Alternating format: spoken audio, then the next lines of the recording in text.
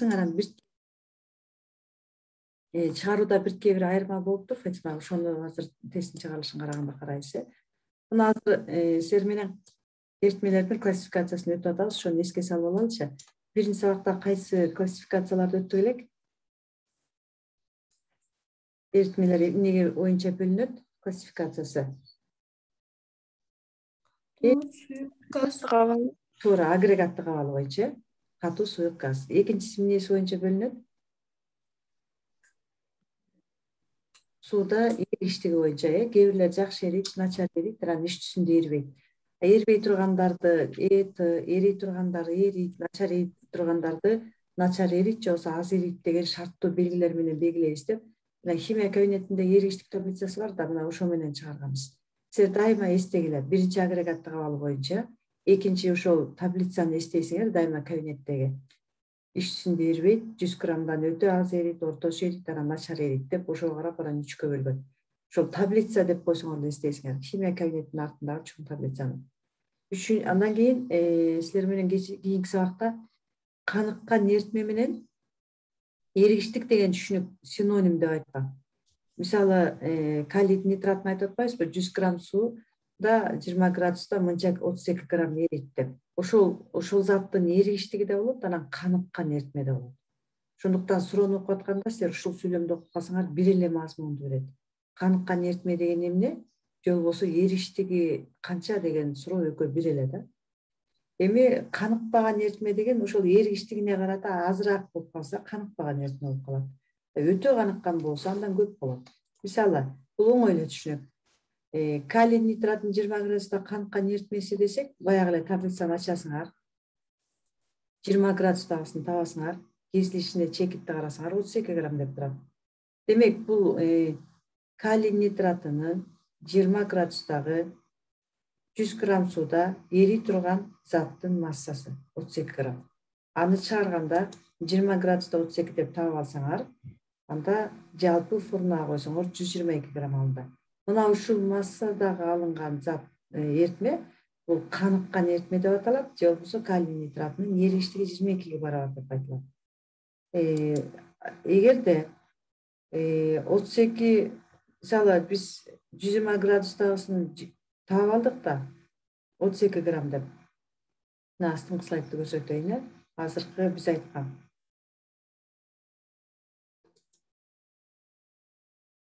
айткан эгерде отуз эки грамм эмес жалпы массасын андан аз кылып койдук мисалы жыйырма эки жыйырма бир он беш же беш деп койсок анда ал каныкпаган эритме болуп калат анткени ал отуз эки граммга чейин салына берет деген сөз.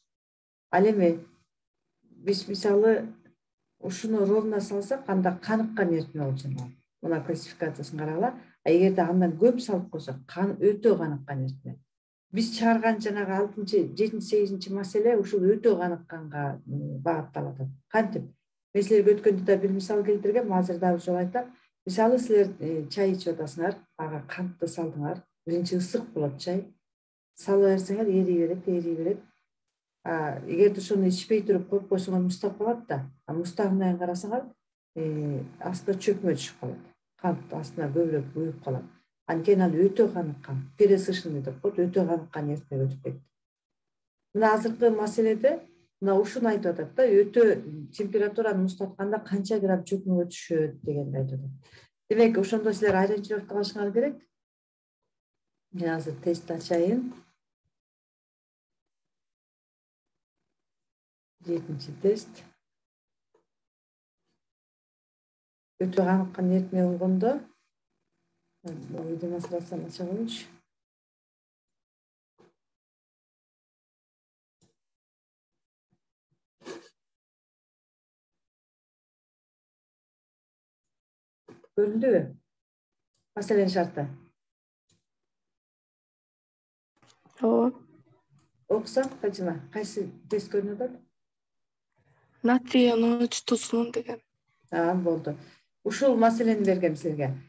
биз азыр мен эмне үчүн өтө каныккан дегенди эстегиле деп атам анткени бул өтө каныккан эритме көбүнчө ошол белгилүү температурадагыдан көбүрөөк э, эрип кетет ошондо өтө каныккан болуп кетет мына азыр натрий тузунун натрий нитратынын он градустагы эригиштиги жүз грамм сууда сексен грамм деп жазылып турат бул табылган силер график иштебейсиңер даярдап коюптур ал эми сексен градустагы эригиштеге жүз грамм сууда жүз элүү грамм дейт туздун сексен градустагы беш жүз грамм камкан эритмеси дайындалып температураны он градуска чейин төмөндөтсө канча болот э, фатиманыкы бул чыгыптыр жүз кырк чыгыптыр э мына азыр мен көрсөтүп коеюн жалпы группа үчүн э, оңой эле бир күнү алсаңар баарыңар тең эле колуңардан келет чыгара аласыңар.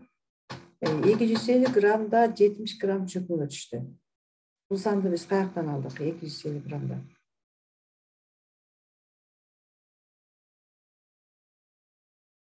а беш жүз граммда экстей жүз кырк грамм. Мына азыр мен чыгарылышын көрсөтөйүн каяктан келип чыкты эки жүз элүү деген. Маселенин шартында сексен градуста жүз элүү граммга жүз граммды кошуп эки жүз элүү грамм деп алабыз маселенин шартын көңүл бурсаңар мына мен астын сызып көрсөтөйүн жүз грамм деген массасы бул жерде э а экинчиси жүз граммда ой жүз элүү граммда кечириңилер жүз элүү граммда бул жерде болсо жүз грамм суу экен азыр мен бул жерде өчүрө турайынчы жүз элүү грамм экен суунукун өчүрө турам жүз элүү граммда жүз грамм сууда туз эрип атса жалпы масса эки жүз элүү болду а экинчисин ушундай эле кылып жазып алдык мынакей жүз грамм сууда сексен грамм эриди жүз сексен грамм болду деп ошондуктан эки жүз элүү деген бул чоңураак массасы экен башкача айтканда сексен градустагы жана эң жогорку температурадагы массасы эки жүз элүү грамм болчу ошондуктан мына бул жерге биз эки жүз элүү граммды алып атабыз жүз элүүнү эмес эки жүз элүүнү анткени сексен градустан он градуска муздатып атабыз да ошондо өтө каныккан эритме могу он градуста калсын ошон үчүн эки жүз элүүдө жетимиш грамм деп таап алдык жетимишти кандай кылып тапсак болот астыңкы сабактарда видео сабакты көрсөңөр эки вариантта тапсак болот деп көрсөтүлүп турат жалпы массаны деле алып болот же болбосо эриген заттын массасынан жүз элүүдөн сексенди деле алып салсаңар болот же болбосо эки жүз элүүдөн жүз сексенди алып салсаңар болот айырмасы жок баары жетимиш чыгат мына могу жетимиш граммды таап алдыңар дагы анан эң жогорку эки жүз элүү граммда жүз жетимиш грамм болсо деп туруп анан маселенин шартын карайсыңар беш жүз грамм деп же айтылат кээде айтылбай калат ушул жер болуп калат айтылбай калса анда силер сөзсүз түрдө миң деп ала бересиңер. А айтылып көрсөтүлүп атса ушул санды коесуңар беш жүз деп мен ошончуңар көп менен белгилеп койдум икс барабар эсептесеңер жүз кырк болуп калат мына ушуну силер элестетип түшүнүшүңөр керек. Да мунун баарын жазып чыгаруунун зарылдыгы жок. Маселеге абдан көнүп калгандан кийин муну карап туруп эле өзү ойлонот окуучулар ушундай ойлонгонго жетиш керек да.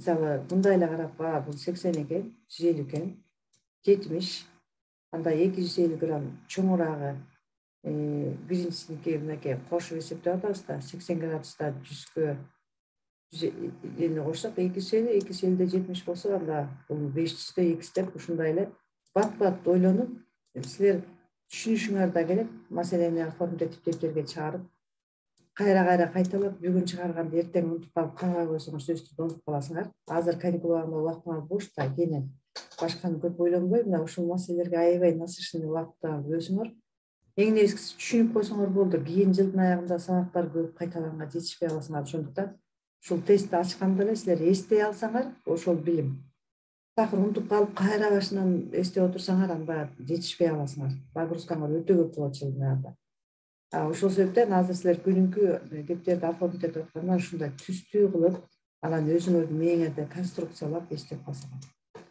азыр эми кийинки маселе ушундай эле сексен сегизинчи маселе деле. Азыр мен көрсөтүп берейин. Үч жүз отуз грамм калий нитратынын кырк градуста камыккан эритмесин отуз градуска чейин муздатканда канча грамм чөкмөгө түшөт дейт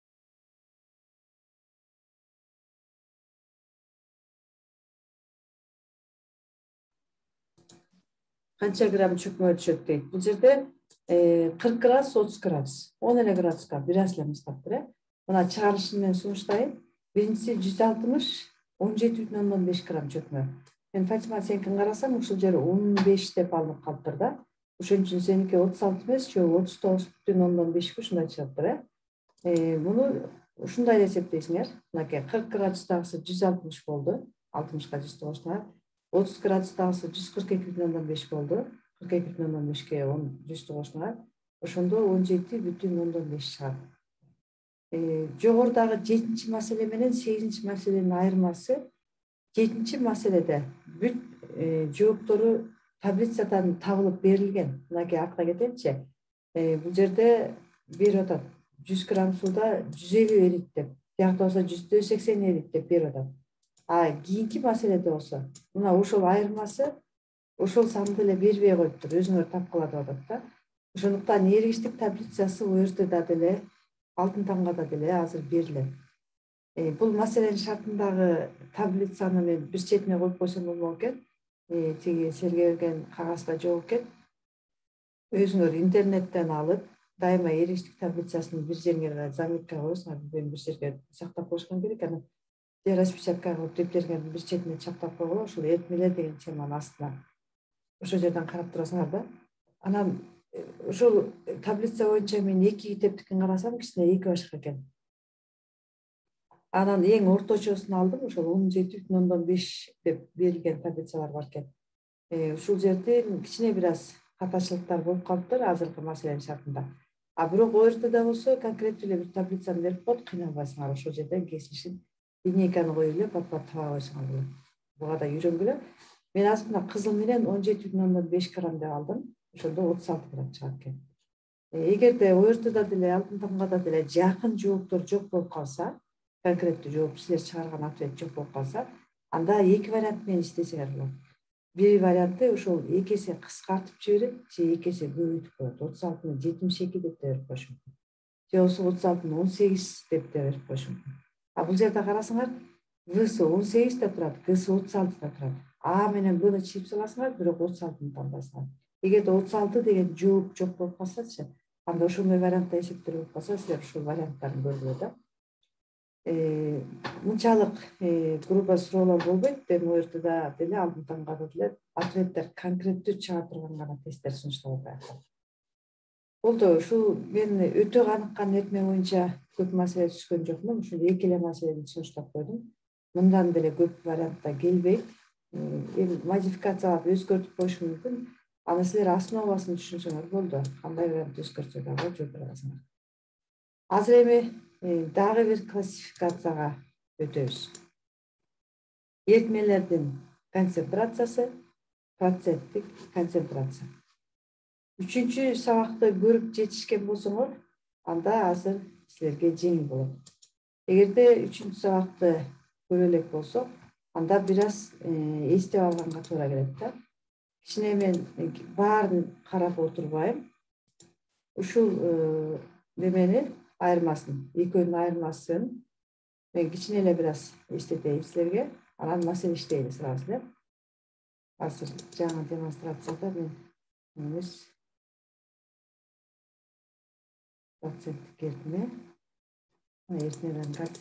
мынакей көрүнүп атабы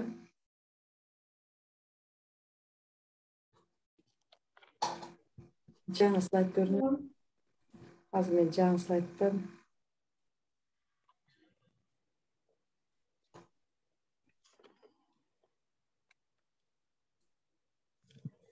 проценттик эритмени мынакей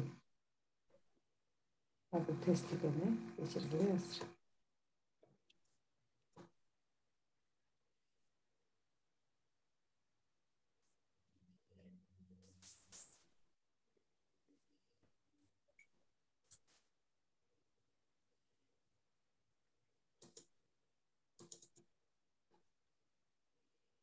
слайдты бүттүк азыр керек жерин түшүнөчү ушул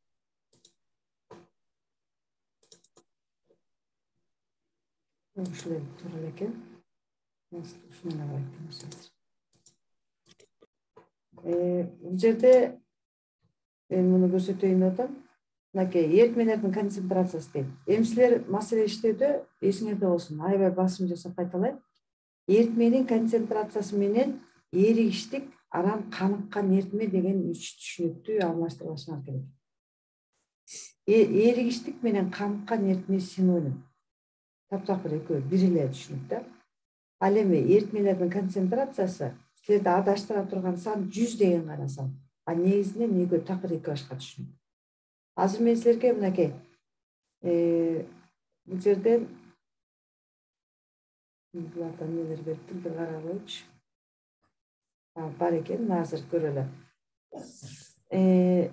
классификациянын дагы бир эки түрү менен таанышат экенбиз эритмелердин концентрациясы анан суюлтулган концентрацияланган эритме деген биз өткөн сабакта биринчи классификациябыз агрегаттык абалы боюнча дедик экинчи классификация жакшы эрийт начар эрийт эрибейт деген жанагы таблицаны элестетебиз дедик химия кабинетиндеги үчүнчү классификация болсо азыр эле айттым каныккан каныкпаган өтө каныккан дедим азыр төртүнчү классификация бул суюлтулган жана концентрацияланган эритме мына ушул классификацияны жакшы билсек анда э, көп маселеде аралаштырып койсо дагы жаңылбайсыңар э, концентрация деген сөз коюлантылган дегенди түшүндүрөт. Мисалы натрий нитратын сексен жана он градустагы эриктигин таба турган болсок же ушунун каныккан эритмесин даярдай турган болсок анда мына он градустагы кесилишин таап сексен грамм деп табасыңар сексен градустагысын болсо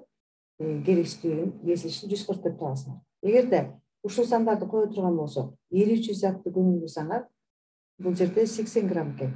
А суу жүз элүү грамм. Эрүүчү зат аз болуп атат жүз граммда бул уже суюлтулган эритме эле учурда каныккан эритме ошол эле учурда бул туздун эригиштиги жүз грамм сууда сексенге барабар. Мына үч сүйлөм түздүм ушундай эле жүз элүү грамм сексен градустагысы ал деле ушундай. Бирок экөөнү салыштыра турган болсок эрүүчү заттын концентрациясы көбүрөөк экен. Эригичке караганда сууга караганда. Ошондуктан бул суюлтулган эритме деп аталат. Айырмасы мына концентрацияланган жана суюлтулган деп айтыш үчүн сууга караганда эриген заттын массасы көбүрөөк болуш керек экен мынакей карайлы эриген заттын массасы аз бул суюлтулган эриген заттын массасы көп бул концентрацияланган. Ошондуктан бул жерде жалпы жыйынтыкты ала турган болсок экөө тең каныккан эритме бул окшоштугу айырмачылыгы бирөө суюлтулган бирөө концентрацияланган эритме анан булардын баарын мен кайталатпайм ушундай кылып калгандарын эсептейсиңер бирок бир эле учурда каныккан эритмелер суюлтулган да болушу мүмкүн концентрацияланган да болушу мүмкүн.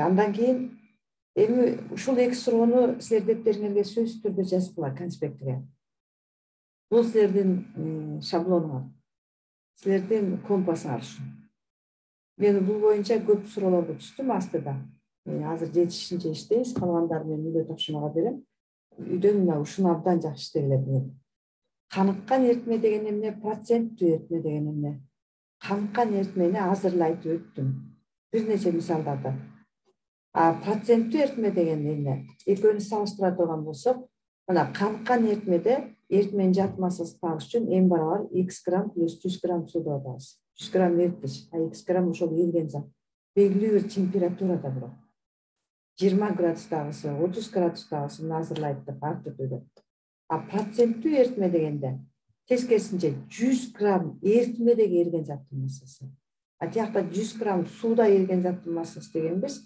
а бул болсо жүз грамм эритмеде эриген заттын массасы ошондуктан жүз грамм дегенди формулага койгондо абдан жаңылбашыбыз керек. Мына аныктамасын берип койдум. Жүз грамм эриткич деген бул суу. Жүз грамм сууда эриген зат десеңер да болот жүз грамм эриткичте эриген заттын массасы десеңер болот. Аны болсо силер азыр көрдүңөр таблицадан табасыңар а бул жерде болсо жүз грамм эритмеде эриген заттын массасы дедик. Дайыма жүз граммдан ошо эриген заттын массасын чыгарып салсаңар суунуку чыгып калат. Ошого карата эсептөөлөр абдан көп берилет суроолордо эгерде бул аныктаманы конспекттеп жазып алган болсоңор кайра эле ушул аныктамаке процент эритменин баарын мен кайталатпай коеюн биздин жашообузда кездешкен аптечканы алсаңар йодтун беш проценттүү эритмеси суутектин үч проценттүү эритмеси деп сыртында этикеткаларды жакшы карасаңар жазылып турат мына этикетканы көңүл бургула йодтуку беш водородтуку үч ушундай эле силер марганцовканы уксусту өзүңөр даярдайсыңар алардын сыртында да жазылган эмес бирок өзүңөрдүн. Азыр эми уксустуку жазылган даяр чыгып калды көбүнчө сатууда карасаңар кнжден покупка кылып атканда тогуз проценттүү деп жазылып турат алты проценттүү деп.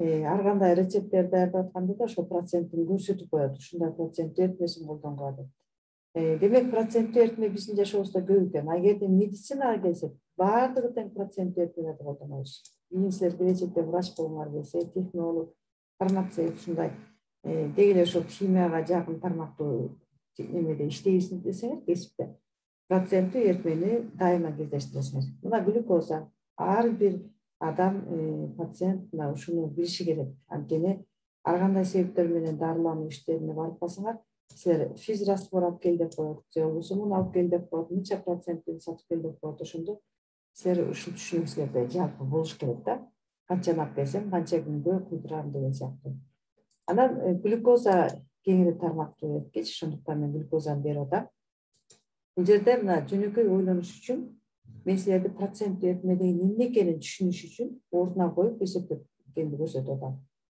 жалпысынан глюкозанын эритмеси м а беш проценттүү деген сөз ушул беш граммы глюкоза калганы суу дегенди түшүндүрөт мисалы бул жерге мен суроону түзүп койдум бул эритмеде кайсы зат деп суу э? Анткени көбүрөөк бөлүгүн суу түзүп атат да калганын глюкоза түшөт анда мына шаблонго кое турган болсок беш грамм глюкоза токсон беш грамм сууда эрийт экен ушул сыяктуу эле кылып мына эки эселентип көбөйтүп алсак болот токсон бешти жүз токсон деп бешти он деп. Аны ар кандай вариантта көбөйтүп азайтып анан эсептер чыгара беребиз анан процент.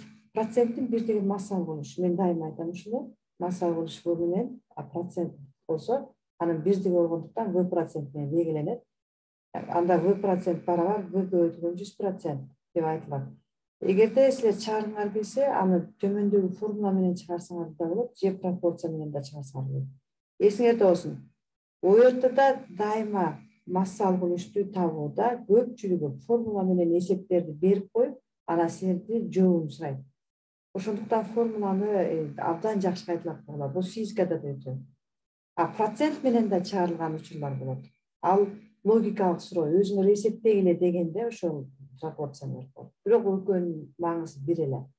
Ошондуктан эки вариантка тең көнгүлө деп мен жанагы мына могул маселени сунуштап койдум үстүнкү слайдта беш эритмеси формула менен табылып а экинчи слайдта болсо пропорция менен табылып турат көрдүңөрбү ошондуктан ушул слайдтарды сабактарды көрүп коесуңар эгерде силер үйдөн көргөн болсоңор булардын баарын менен үйгө тапшырмага бергем азыр төмөндөгү тесттерди иштеп көрөлү. Тамак баштайбыз. Даярсыңарбы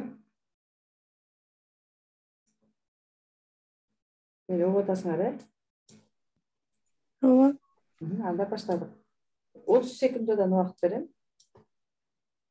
Дептериңерди ачып жазсаңар да болот же болбосо өзүнүкү деп ойлонсоңор болот сандар оңой жазбай эле эки ойлонсоңор өтө ыңгайлуу маселе гсы го? Гсы массасы эң жогору деген э кантип таап койдуңар ойлондуңар силердин вариантыңарды айтып көргүлө эки ойлондуңар да э жазбай эле кантип ойлондуңар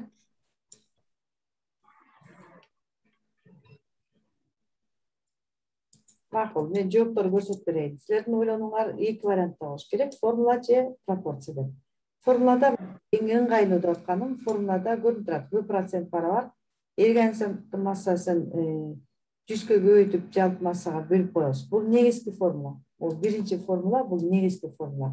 А экинчисин мен эки сызыкча кылып коеюн ушул формуладан силер эриген заттын массасын таптык мынакей бул жерге коюп алдык э? Эми эриген затты тапкан учурда бул процент э, жалпы массага көбөйтүлөт силер физикада да өткөнсүңөр мынакей экөөнү көбөйтүп бөлчөктүн үстүнө жазсак мына жерде.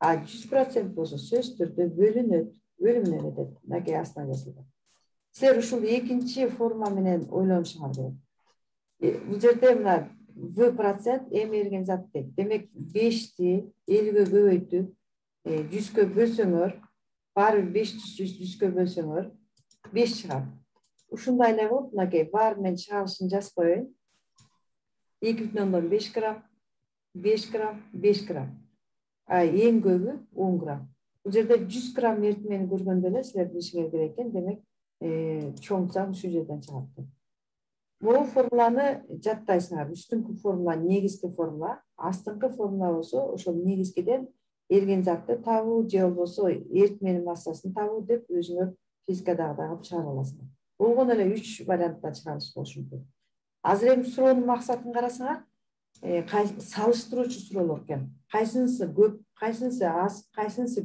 жогору төмөн же бирдей же айырмасы бар деген сыяктуу суроолорду көп түшөт бул салыштыруучу суроолор деп коет бул кыргыз тилинде деле математикада деле бар. Химияда деле ушундай да. Анан эгерде ким формуланы билсе мына формуланы физикадан деле өтүп атасыңар силер ордуна коюп пат пат салыштырып сандар деле ойлонушуңар керек. Буга чыгарып калькулятор алуунун кереги жок андан кийинки маселени берип көрөйүн мына азыр муну өчүп чогултуп берейинчи баштадык эритменин бөлүмүндөгү эрген заттын өлчөмү беш граммга барабар болгон эритмелер кайсылар деп суралды экөөнү тең беш грамм кайсынысында деп суралды э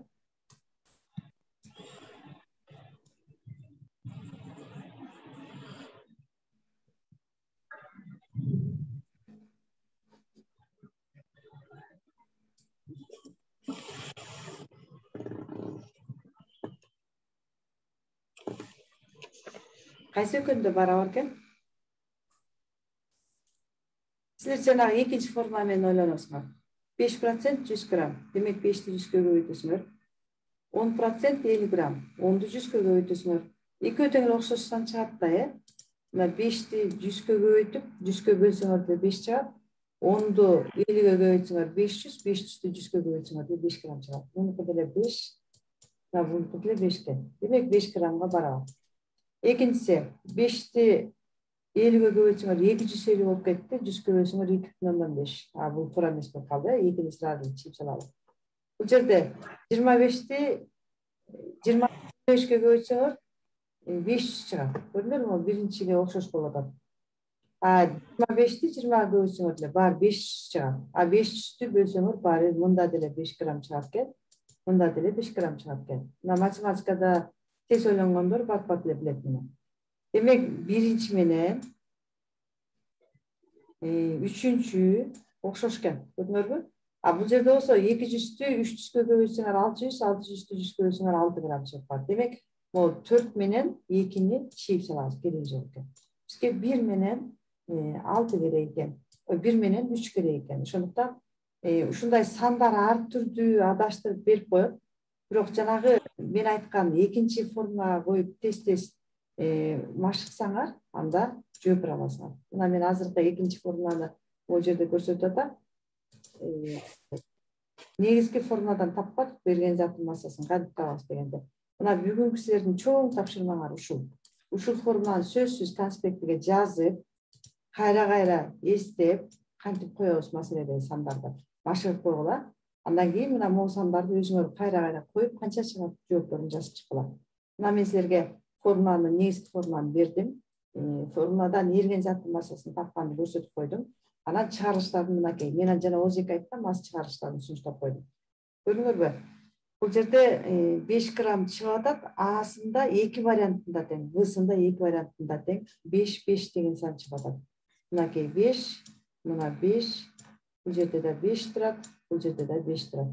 Мына эки вариант а бул жерде беш бар экен а бирок мына кызыл менен белгилейинчи бирок бирөө беш болгону менен бирөө эки бүтүн ондон беш болуп калып ошон үчүн д туура эмес. А гсында болсо бул жерде алтымыш бул жерде отуз болуп калды ошон үчүн туура эмес. А жана в варианты анан жоопторду карасаңар ошондой экиден вариант көрсөтүлгөн жооптор экен ошон үчүн туура жооп ушул вариант болот э. Андан дагы бир маселеге жетишип калалы убакыт аз калыптыр.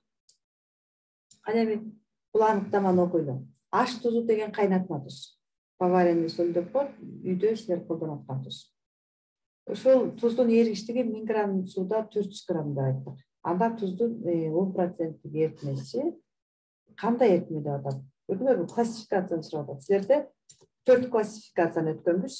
А силерге бул жерде каныкпаган каныккан бул бир эле классификация. Анан өтө каныккан бул үчөө синоним бир эле классификациянын түрүнө кетет а б г. А концентрацияланган деген бул башка типтеги классификация э ошон үчүн мынакей мен анын астына сызып коеюн а каныккан б каныкпаган г өтө каныккан булар бир типтеги эми мен мына көк менен коеюн концентрацияланган суюлтулган деген бул башка типтеги аныктама силер аныктаманы абдан жакшы түшүнсөңөр ушул сыяктуу суроолор абдан көп келет эми туз боюнча келсек мен силерге өткөндө айткам эригиштиктин ири сызыгында башкалардан айырмаланып туздар эригиштиги температурадан кырк градуска чейин гана өзгөрөт андан кийин температураны канча таасир этсеңер дагы өзгөрбөйт деген. Мына моундай болчу. Отуз жетиден баштап акырын келип кыркка чейин гана өзгөргөн. Натрий хлордчу андан өйдө өзгөрбөйт деген. Демек ошол түшүнүктүү да билишиңер керек. Бул жерде көрдүңөрбү эригиштикти дагы камтып жатыр анан классификациянын бүт түрүн камтып коюптур ал эми жооп кайсы?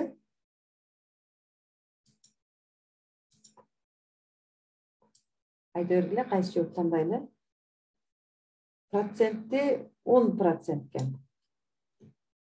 экен эригиштиги жүз грамм сууда төрт жүз грамм экен бир нөлгө кыскартып салсаңар болот ушундай чоң сандар болуп калганда жүз граммды миң граммды жүз грамм төрт жүз граммды кырк грамм деп эле койсоңор болот айырмасы жок же он граммда төрт грамм жүз граммда кырк грамм миң граммда төрт жүз грамм бул окшош эле түшүнүк жооп кайсы болот каныккан каныккан эритме э анда азыр чыгарып көрөлү мынакей мен көрсөтөм биринчи формуладан баштадым жалпы массасын табуу деп аталат жүз грамм сууда төрт жүз грамм эриттерин анда миңде төрт жүз грамм десеңер деле бир миң төрт жүз чыгат жүздө кырк грамм десеңер деле жүз кырк грамм чыгат ала бергиле айырмасы жок эми бул жерде жүз граммда он процент деген сөз азыр эле глюкозаны айтпадымбы жүздөн онду алып салсаңар токсон граммы суу экен ошондуктан экөөнү колдонуп туруп анан пропорция түзөбүз миң грамм сууда төрт жүз грамм туз эритсе токсон граммда экс грамм отуз алты грамм тузду эритиш керек экен. Анда отуз алтыдан он граммды алып салсак процент он процент деп атпайбы жыйырма алтысы жетпей атат. Жетпей атса бул анда суюлтулган бул каныккан эмес каныкпаган эмес суюлтулган ошондуктан жообу бс каныкпаган дегенди тандайсыңар мына ушул сыяктуу кылып силер формулаларды анан тетиги биринчи формула эритменин жалпы формуласы экинчи формула жана эргичтик процентти колдонуп ушинтип чыгарсаңар болот экен. Азыр эми биздин убактыбыз азыраак калыптыр. Бул маселени мен силерге үйгө берейин. Анткени бул кичине көбүрөөк убакытты талап кылат экен. Бул маселенин шартына окуп коеюнчу. Аш тузунун эригиштиги миң грамм сууда астыда айтылып аткан аш тузу жөнүндө сөз болуп атыптыр төрт жүз граммга барабар дейт аш тузунун каныккан эритмесин алуу үчүн берилген идичтеги эритмелерге канча грамм тузду кандай иретте салыш керек? Логикалык суроо бул ортодо көп кездешет мен азыр эки мүнөт убакыт берсең болот экен. Кандай ойлонуп жоопту айтып көргүлө анан мен чыгарылышын даяр берем э. Силер оозеки эле карап туруп ойлоп көргүлөчү бир мүнөт убакыт берейин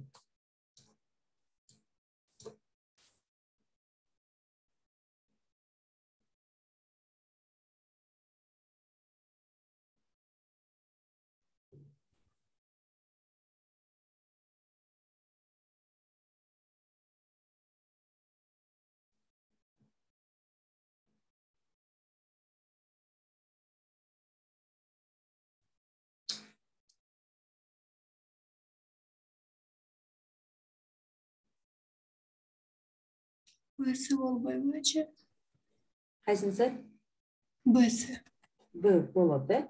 Бул жерде э, он тогуз тогуз нөл деген э? Ушунун антонимин таап көрөлү он тогуз артына кеткени аасында экен. Демек а менен бны э, калтырып койсок болот экен. Бизде анткени а да кичинекей сандан чоңго кетип атат а б да болсо чоңдон кичинекейге кетип атат. А в менен гны сразу ойлонбой эле чийип салгыла ал жерде аралашып кетиптир сандар чоң кичине чоң болуп аралашып атат ошон үчүн убакытты экономдош үчүн ушул эки вариантты тандап алдык дагы анан эми карайбыз бул жерде он проценттүү жыйырма проценттүү отуз проценттүү каякты көздөй кетип атат. Ошонун чыгарышын мен азыр силерге сунуштап берейин. Мына бул жерде жообу ооба бс экен ал жерде мынакей мен чыгарышын ордуна коюп койдум жүз грамм он процент болгондо он грамм. Экинчисинде жыйырма грамм үчүнчүсүндө отуз грамм болуш керек экен а бизге болсо жетпей атканын эсептейли мына бул жерде жүз граммда азыркы мен жогоруда слайдда айтпадым да жүздө миңде төрт жүз жүздө кырк деп алсак деле болот ошол кичинекей сан менен эсептегенде бул каныккан эритме жүз кырк грамм болуш керек болчу.